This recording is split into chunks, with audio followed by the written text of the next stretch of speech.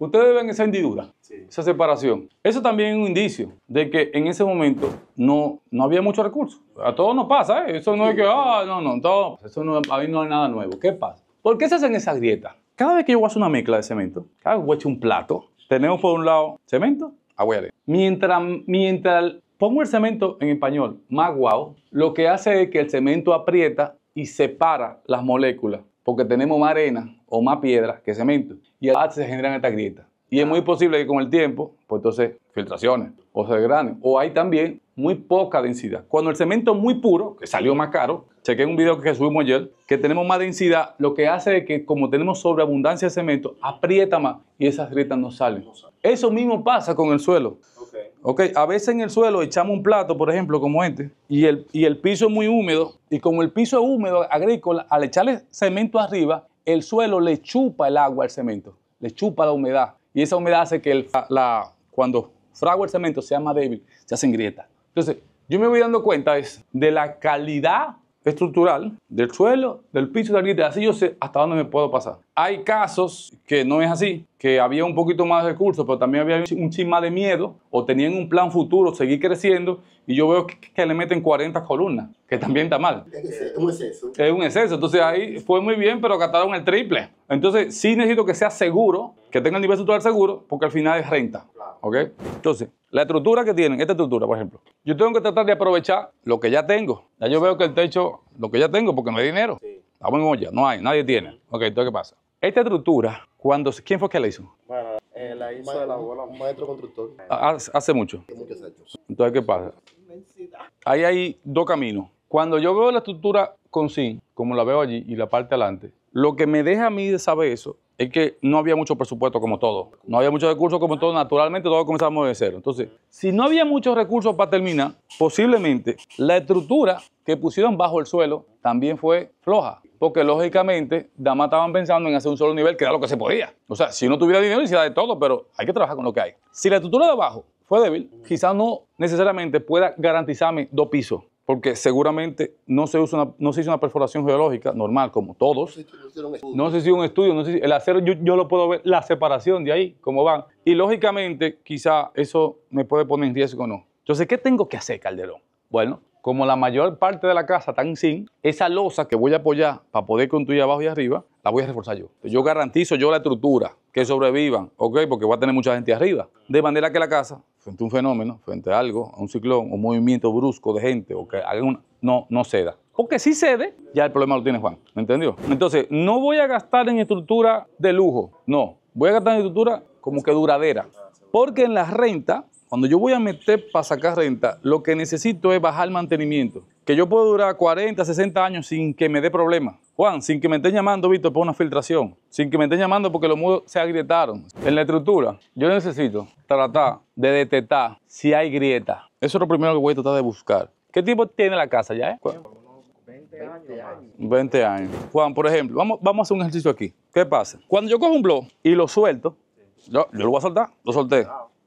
¿Qué hizo el blog? El blog lo que hizo fue que trató de hundirse. Si yo hubiera cogido no un blog, sino un martillo mecánico, lo, lo trapazo. Lo que estoy diciendo es que este suelo que está aquí tiene un nivel de compresión. Mientras más profundo es el suelo, más presión aguanta. ¿Me entendieron? Cuando ustedes cogen un dedo y lo meten en la arena, yo con el dedo yo puedo enterrarlo. Pero llega un punto que si lo quiero seguir enterrando, ya me frena. Ahora, si le meto más fuerza, sigue bajando. Entonces, esta casa que está aquí, esta columna que baja, esto tiene un peso, ¿eh? que sumado con el peso de arriba y la carga viva que somos nosotros moviendo, hace una fuerza en este suelo. Si la zapata se calculó bien a través de un estudio geológico, lo que estamos diciendo es que metimos una compresión aquí dura en el estudio mecánico y nos dijo, ok, en este suelo, para ese peso, la profundidad de la zapata es esta, un metro, un metro. Entonces, en ese punto vamos a tener el factor. ¿Qué pasa? Cuando no está en la profundidad correcta, lo que está pasando es que el peso me puede en algunos puntos hundir más la casa. Como yo lo ahundo así. Si yo lo pongo, le, meto una esquina, ahí, se hundió. Cuando eso se hunde, lo que hace es que la pared se crea y se crea una rotura así. Siempre va a ser diagonal. Esta diagonal es porque esta esquina se dio y esto se hizo así y se separa. Esa diagonal es por esa esquina. Entonces, ¿cómo yo detecto dónde está el problema? Bueno, si aquí hubiera una diagonal, yo voy a mentalmente dibujar esta diagonal y le voy a poner una línea perpendicular. Y ahí el hoyo. No fue que rompió aquí ni aquí. No, es ahí. Esta se hundió porque la zapata no es profunda y lógicamente la humedad del suelo erosionó y para abajo. Eso se llama asentamiento. ¿Qué pasa? En una casa de un piso, como no tenemos zinc, no, el hecho de, no hay que pesar tanto, ¿ok? Con una zapata bajita se hace, pero en el momento sí funcionaba para una zapata bajita, porque el peso es una sola casa. Ahora, ya cuando vamos a meter más cosas, ya hay que tener cuidado, porque entonces pierdo la inversión de arriba y pierdo la de abajo y entonces nos fregamos todo. Le voy a explicar qué me gusta y qué no me gusta. ¿Cómo estamos? Le voy a explicar, por ejemplo, fíjense. En la estructura, yo tengo que buscar la manera de lo posible descargar el peso del segundo piso a través de los mismos muros. ¿ok? En estos muros yo no confío, ¿ok? Sí me fungen y me sirven como división, pero no me puedo arriesgar a apoyarme mucho sobre ellos, depende de lo que vamos hacia arriba, ¿me entendieron? Entonces, ¿qué es lo que hago? Que trato de reforzar lo que ya tengo para no perderlo, ¿ok?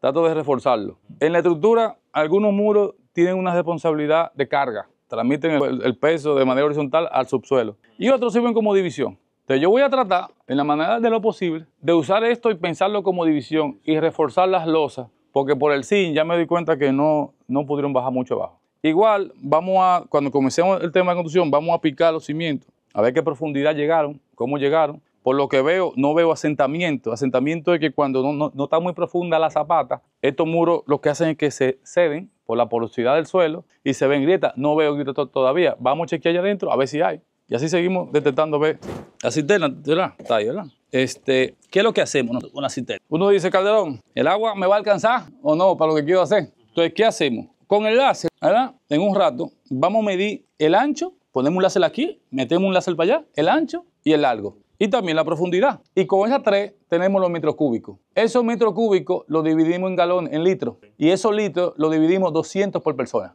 200 por Ajá, que es diario. Entonces yo calculo si una persona que me va a rentar aquí, un estudiante solo, me va a gastar 200 litros, pues yo sé la cantidad de personas que me aguanta esto. Y así yo no gasto además en cisterna, pero tampoco de menos que me falte el agua. Porque yo sé por mi experiencia que para una familia muy bien, pero para llenar esto de gente, entonces hay que ver hasta dónde. Lo ideal es que el estudiante no me esté llamando para quejarse de suministros. Porque cuando yo como dueño del edificio fallo, porque no le tengo el agua ready, no le tengo la luz ready, no le tengo las cosas ready, me están llamando y después me, me, van a justificar para pagarme tarde la renta, que es lo que yo no quiero, pero si tú no me cumples, ¿por qué yo tengo yo cumplir? Relativo. Es relativo. Entonces, ¿qué pasa? Si yo quiero mantener los clientes y quedarme con los clientes mejores, tengo yo que ser mejor en los suministros. No puede faltar agua. No debería de faltar agua. Y a veces el agua falta por un cálculo de más. Pero tampoco voy a construir cisterna y necesariamente si los litros que tengo aquí me alcanzan. ¿Qué es lo que, qué es lo que, qué es lo que hacemos, Juan? En este espacio que tenemos, este, eh, las cosas que me gustan del terreno es que posiblemente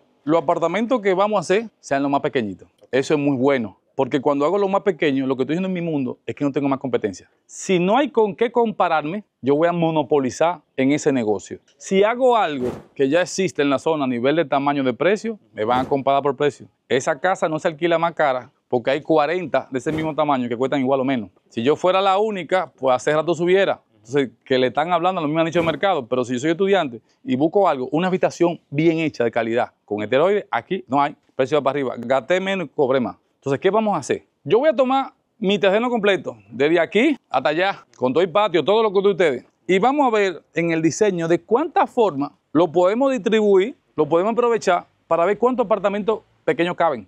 De esa cantidad de apartamentos, mi señora Víctor, el bolsillo le va a llegar a un punto.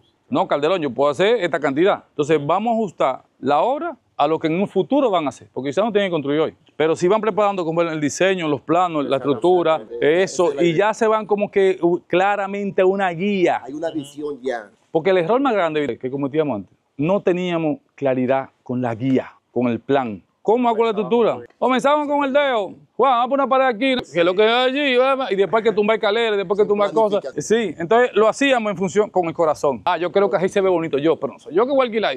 Ah, entonces, no, no, yo lo que, lo que me pasaba a mí, mi señora, era que no, no solamente veía el, el, espacio que tenía y no veía el mercado. Y aquí vamos a entender el mercado, vamos a entender lo que hay, lo que cuesta acá, y a partir de esto vamos para acá. Vamos a poner un ejemplo muy fácil. Vamos a poner aquí, supongamos que aquí pueden caber dos apartamentos grandes de dos habitaciones. No lo he medido, pero lo vamos a medir ahora. Si solamente caben dos, ¿qué precio tendría cada alquiler de eso? Estaré oscilando alrededor 15 mil pesos. 15 mil cada uno. Entonces tendríamos 15 y 15, que serían 30. Pero si yo digo, no voy a hacer dos apartamentos, voy a hacer, voy a hacer un apartamento más pequeño, que, ponga, que yo pueda meter cuatro aquí arriba, pues entonces no lo alquilaría en 15. Si yo tengo un apartamento grande de dos habitaciones, que es el espacio que me cabe, yo le decía, pongamos uno aquí y otro aquí. Le estoy hablando a la familia que tienen carro, que, son muchos, papá, mamá y dos muchachos, que aquí no pueden ni quieren y no van a querer pagar mucho, por lo que me dice José Calderón, pero es que no hay parqueo porque tú no sabes entrada. Si yo lo quito a ellos y en vez de pedirle peleado 15 y 15 porque no hay parqueo, le digo, miren, solamente le alquilo a estudiantes, a solo. Y en vez de hacer dos apartamentos, pues entonces hago cuatro o cinco. Si hago cinco apartamentos, ¿cuánto es el mínimo que pagaría un estudiante? ¿Quién me dice? Por lo menos más de seis. Pero mucho más de seis. A 8 o 10 por ahí. ¿Por qué van a pagar más de seis? Porque ese estudiante que viene aquí tiene dos opciones. O, me, o, o alquila ese, que está en 15 mil, que es grandísimo, que no le funciona, o me paga a mí 10. ¿Me entendieron? Pero cuando multiplico 10, 10, 10, 10, por un lado tengo 50 hablándole a los motores y con los damas tengo 30. ¿Qué pasó ahí? La diferencia, cambié el nicho de mercado. Lo que pasa con esto es que cuando yo entiendo las ciudades, allá afuera habemos de todo, ¿ok? Hay algunos que están en la etapa de que viven solos, hay otros que, que están en la etapa que están en familia, hay otros que están en la etapa que ya tenemos nietos, eh, y así hay cada etapa. ¿Qué pasa? Yo necesito usar mi estructura, usar mi terreno, Juan, mi dinero, y alinearlo al nicho de mercado que tiene más oportunidad en esta ubicación, por el contexto. ¿Me doy a entender? La idea es desarrollar algo aquí que produzca dinero. Exacto, perfectamente. No importa el camino, que produzca. Con una visión de futuro. Con una visión de que en el futuro vayamos creciendo por, etapas. Entonces, cada vez que yo veo algo, y yo veo, por ejemplo, la tierra, y Juan me dice, Calderón, en mi mundo, que tenga una calle sin salida es un problema. Siento que por eso quizás no puedo desarrollar aquí, porque entiendo que los carros, la guagua, entran pero no salen. Eh, Automáticamente lo que voy a hacer es que eso es un problema sí y solo sí para la gente que tiene vehículos, pero para el otro mundo que tienen motores, no. Entonces, automáticamente cambio el nicho de mercado, cambio a la gente que, a que le estoy hablando, pues lógicamente lo que parece lodo lo que convertí en oro, porque si lo que vienen a rentarme aquí fueran en motores, tenemos parqueo de más. Si lo que vienen a parquear a mí tuviera motores y están seguros, si lo que vienen a rentar motores, entonces ¿qué pasa? ¿Cómo yo me acerco a rentar lo que tiene motores? Que es el, el cliente que a mí me gustaría. ¿Por qué? Cuando yo le alquilo a una persona que tiene un carro, esa persona me va a exigir a mí una familia. Papá, mamá, uno, dos hijos y por ende el apartamento es más grande. Si pongo aquí arriba un apartamento más grande, lo que estoy diciendo es que nada más voy a ponerte uno, dos o tres, muy poco sueldo pagando. ¿Me entendieron? Y ahora, si yo me voy al público de los estudiantes que vienen por ahí, que ustedes en la universidad, al público de los solos, que no están casados, no tienen familia, porque son estudiantes, me estoy dando cuenta que donde ponía una familia, ahora pongo tres. Y al bajarle el precio a la unidad, al bajarle el tamaño a la unidad, pues entonces le saco más dinero al espacio, que es lo que queremos lograr. ¿Me doy a entender?